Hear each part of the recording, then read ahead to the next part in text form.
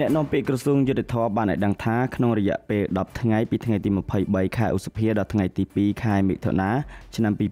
2024សាលាដំបងនិងអាយកាអមសាលាដំបងរាជធានីខេត្តបានទទួលចាត់ការលើសំណុំរឿងក្មេងទំនើងចំនួន73ករណីដែលមានជនសង្ស័យចំនួន478នាក់ We Active ជីវិតកាន់តែរីករាយកាន់តែរស់រវើក ហើយតុលាការបានធ្វើការឃាត់ខ្លួនជនសង្ស័យចំនួន320នាក់និងរត់គេចខ្លួនចំនួន